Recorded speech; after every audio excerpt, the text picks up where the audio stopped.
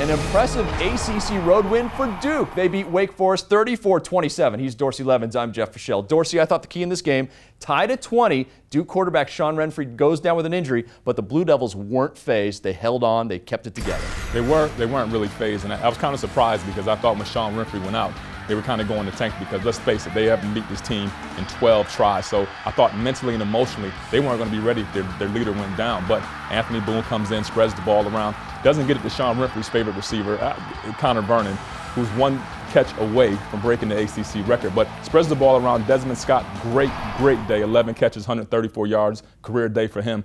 They get it done. Yeah, it was a good win, especially the way they pulled it out. Conner Vernon, five catches now, tied for number one all time. He wasn't big in this game. Neither was Michael Campanaro. Two catches, eight yards. Then he disappeared. What happened? He broke his hand, is what happened, you know, and it really hurt Wake Forest. Only two catches, eight yards. Well, it wasn't really a big factor. On the other side of that, Conner Vernon, I think there's so much attention paid to him because he's about to break this ACC record. He needs six catches. I think when he got to five, maybe Wake Forest kind of clamped down a little bit because you never want to be the team that the other guy breaks the record on. So Sean Renfree goes out. They they lock down on Conner Vernon. He'll get it next week, but just didn't get it today.